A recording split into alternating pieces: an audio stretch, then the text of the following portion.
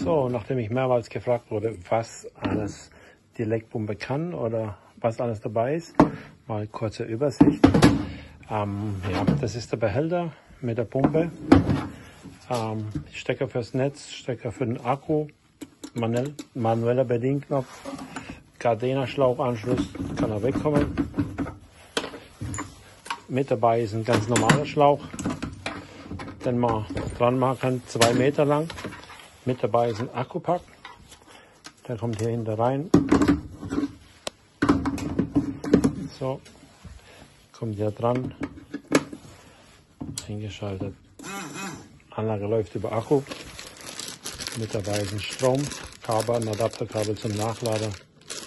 Ja, alles in allem top für Ausführungsgefäße, Heizkörper, Kesselentleerer, falls mal die Hebepumpe kaputt ist, Kondensathebepumpe, kann er alles. Dankeschön, ciao.